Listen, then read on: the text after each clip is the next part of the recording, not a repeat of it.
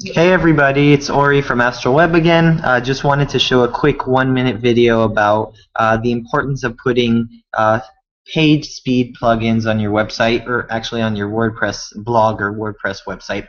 Um, so in one of the prior videos we talked about uh, using the CDN using cloud Amazon's CloudFront uh, with the W3 Total Cache plugin.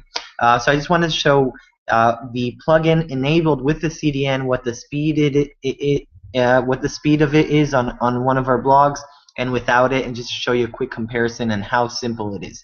Okay, so uh, this is the blog, and what we want to do is go to GTmetrix, just a website that uh, monitors your performance, checks the speed, and gives you stuff. So I'm going to uh, retest the page right now in live and see see what it uh, gives us as far as page speed. And this is with the plugin enabled and the CDN in, enabled as well.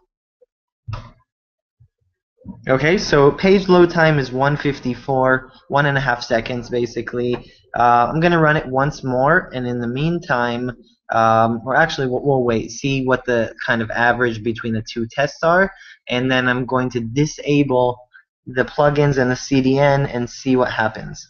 Okay, uh, so this time it was very close to one second, so very fast loading a, a time of this blog. Um, so I'm going to go here and I'm actually going to um, deactivate everything. Okay, so let's click on save. This is the, the settings for W3 Total Cache. Okay, and um, actually let's just disable completely the plugin. That'll be much easier. And W3 Total Cache, deactivate.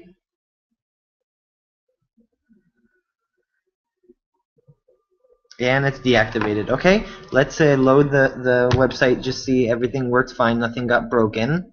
Okay, and I'm going to check, um, just for example, the image to see that it's linking back to our original image and not the CDN. Okay, everything looks good. Let's rerun the test without the CDN, without the plugin of minifying CSS and uh, caching and gzip and all that stuff. Let's see what the speed is.